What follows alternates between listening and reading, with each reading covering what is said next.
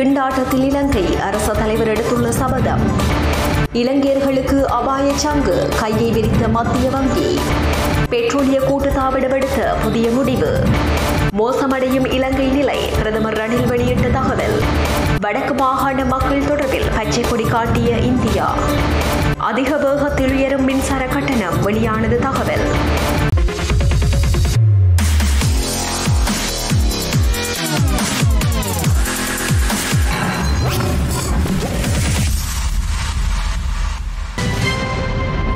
மத்திய வங்கியின் பங்களிப்பை சுயாதீனமாக முன்னெடுப்பதற்கு அரசாங்கம் முழுமையான ஆதரவையும் சுதந்திரத்தையும் வழங்கும் என அரசு தலைவர் கோட்டாபய ராஜபக்ஷ இன்று உறுதியளித்துள்ளார்.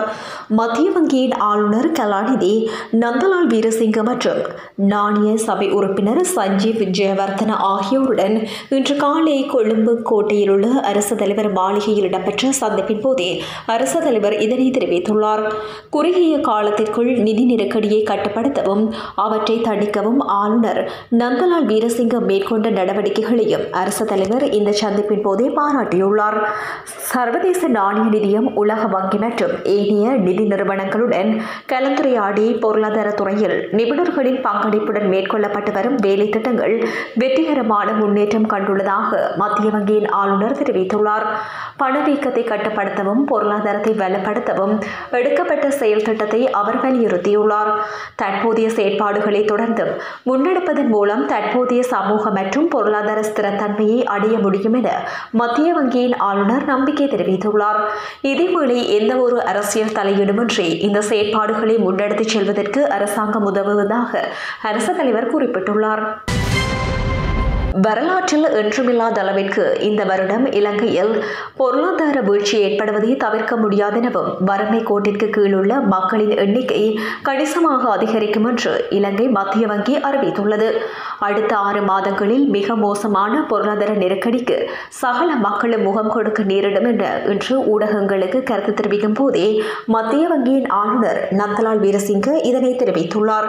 இதன்போது மேலும் கருத்துரைத்த அவர் உள்நாட்டு வளங்கள் பற்றாக்குறைகள் அதிகரித்த உலகளாவிய பண்டங்களின் விலைகள் ஆண்டின் இறுதி வரை காலப்பகுதியில் அமெரிக்க டாலருக்கு எதிராக இலங்கை ரூபாவின் பாரிய வீழ்ச்சி என்பவற்றுடன் இணைந்ததான ஏனைய பொருளாதார அழுத்தங்களின் விளைவாக அண்மைய காலங்களில் நாட்டில் பாரிய அளவிலான பணவீக்கம் அதிகரித்து காணப்படுகின்றது. இந்த நிலைமை மேலும் சில மாதங்களுக்கு நீடிக்கும் என்பதே எமது எதிர்பார்ப்பாகும். நிலைமையை சமாளிப்பது எப்படி? பல்வேறு முன்னணி குறிகாட்டிகளினாலும் பிரதிபலிக்கப்படாதவாறு தற்போது இடம்பெறுகின்ற பற்றாக்குறைகள் வலுசக்தி தொடர்புபட்ட சிக்கல்கள் மற்றும் சமூக ரீதியான பதற்றகரமான நிலை காரணமாக நாட்டின் பொருளாதார நெருக்கடிகளும் பாதிக்கப்பட்டுள்ளன. எனவே இந்த நிலைமையை சமாளிக்க மேலும் சில காலம் தேவைப்படும். இவ்வாறான நிலையில் மக்களுக்கான அத்தியாவசிய தேவைகளை பூர்த்தி செய்யவும் உணவு தட்டுப்பாடை தவிர்க்கவும் கூடிய கவனம் செலுத்தப்பட்டு வருகின்றது. முச்சக்கர வண்டிகள் மற்றும் மோட்டார் சைக்கிள்களுக்கு தொன்னூற்றி ஐந்து ஒக்டேன் பெட்ரோல் வழங்கப்பட மாட்டாது என இலங்கை பெட்ரோலிய கூட்டுத்தாபனம் அறிவித்துள்ளது. சில முச்சக்கர வண்டிகள் மற்றும் மோட்டார் சைக்கிள்கள் சாரதிகள் அதிக விலைக்கு விற்பனை செய்வதற்காக தொன்னூற்றி ஐந்து ஒக்டேன் பெட்ரோலை சேகரிப்பதனால் இந்த முடிவு எடுக்கப்பட்டுள்ளதாக பெட்ரோலிய கூட்டுத்தாபனம் குறிப்பிட்டுள்ளது.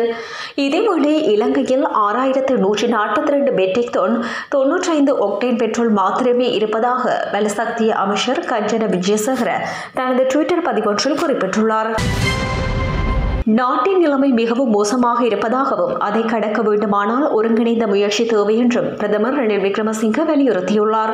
விவசாய பொருட்களை தடையின்றி வழங்குவதையும் விநியோகிப்பதையும் உறுதி செய்யும் புதிய சட்டமான அத்தியாவசிய விவசாய பொருட்கள் சட்டத்தை நாடாளுமன்றத்தில் முன்வைக்கப் போவதாக பிரதமர் கூறியுள்ளார். உக்ரைன் யுத்தம் காரணமாக உலகம் கோதுமை பெற்றும் உர தட்டுப்பாட்டுக்கு முகம் கொடுத்துள்ளது. தட்டுப்பாடு அதிகரிக்கும் போது உடனடியாக தீர்வு நடவடிக்கை எடுக்கப்படாவிட்டால் இலங்கையின் உணவு விநியோகம் மோசமடையும் என குறிப்பிட்டுள்ளார். வடக்கு மாகாண மக்களுக்கு தேவையான அத்தியாவசிய உதவிகள் மற்றும் சிறுமுக நெச்செய்கைக்கு தேவையான உரம் உள்ளிட்டவற்றை காங்கேசன் துறைமுகம் ஊடாக கொண்டு வருவதற்கு கலந்துரையாடப்பட்டுள்ளது. இதுகுறித்து இந்திய வெளியுறவுத்துறை அமைச்சர் ஜெயசங்கருடன் கடற்றொழில் அமைச்சர் டாக்டர் தேவானந்தா கலந்துரையாடியுள்ளார். தொலைபேசியூடாக நேற்று இடம்பெற்ற இரண்டு நாட்டு அமைச்சர்களுக்கும் இடையிலான கலந்துரையாடலில் அமைச்சர் டக்ளஸ் தேவானந்தாவின் கோரிக்கையை இந்திய வெளியுறவு அமைச்சர் ஏற்றுக்கொண்டதாகவும் கூறப்படுகின்றது. மேலும் இதன்போது கடற்றொழில் அமைச்சரின் குறித்த முயற்சிகளுக்கு இந்திய அரசாங்கம் பூரண ஒத்துழைப்பு வழங்குவதாக தயாராக இருப்பதாகவும் உறுதியளித்துள்ளது. மின்சார கட்டணம் முப்பது சதவீதம் தொடக்கம் நாற்பது சதவீதம் அதிகரிக்கப்படலாம் என மின்சாரத்தை பாவிக்கும் நுகர்வோருக்கு மின்சார கட்டணங்கள் திருத்தப்பட வேண்டும் என தாம் நம்புவதாக மின்சக்தி மற்றும் எரிசக்தி அமைச்சர் கா. காஞ்சன விஜயசேகர தெரிவித்துள்ளார். குறைந்த வருமானம் பெறுவோர் மற்றும் குறைந்த அலகுகளை பாவிக்கும் நுகர்வோரின் கட்டணத்தை அதிகரிக்க விரும்பவில்லை என்றும் அமைச்சர் குறிப்பிட்டுள்ளார். இலங்கை மின்சார சபை தொடர்ச்சியாக விலை திருத்தத்தை கோரிய போதிலும் ஒன்பது வருடங்களுக்கு மேலாக கட்டணங்கள் திருத்தப்படவில்லை என குறிப்பிட்ட அவர் பொது பயன்பாடுகள் ஆணைக்குழுவுக்கு சில முன்மொழிவுகளை முன்வைத்துள்ள போதிலும் இதுவரை எந்த நடவடிக்கையும் அங்கீகரிக்கப்படவில்லை என்று குறிப்பிட்டுள்ளார். அதன்படி கருணை காலம் வழங்கப்பட்டதன் பின்னர் அமைச்சரவை மற்றும் பொது பயன்பாடுகள் ஆணைக்குழுவின் அனுமதியுடன் இந்த திருத்தத்தை நடைமுறைப்படுத்த எதிர்பார்ப்பதாக அமைச்சர் கூறியுள்ளார். மேலும் கட்டணங்கள் திருத்தப்பட்டால் கணிசமான அளவு அதிக மின் அலகுகளை பயன்படுத்தும் சில ஹோட்டல்கள் தொழிற்சாலைகள் மற்றும் அதிக மின்சாரம் பயன்படுத்தும் வீடுகளுக்கு முப்பது தொடக்கம் நாற்பது சதவீதம் மின் கட்டணத்தை அதிகரிக்க முடியும் என்று மின்சக்தி மற்றும் எரிசக்தி அமைச்சர் காஞ்சிட விஜயசேகர மேலும் குறிப்பிட்டுள்ளார்.